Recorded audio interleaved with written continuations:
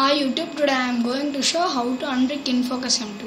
Step 1 First download the firmware link, link in description. Step 2 After downloaded the file, open the folder and copy the update.zip to, zip to your SD card to your wished place. Step 3 After paste it to your SD card, place SD card to your mobile. Uh, step 4 Switch off your Infocus M2 mobile.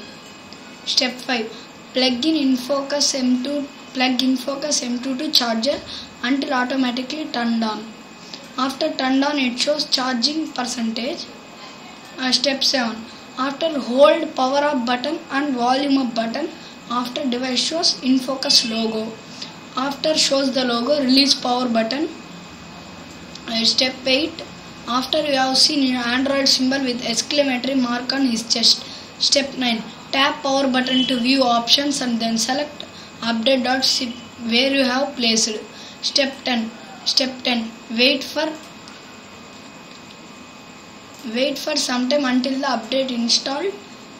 Update install after install this will restart. Step 12 after restarted it will show setup infocus m2 cool. Now your device is unbricked if you do not understand read description. Thanks for watching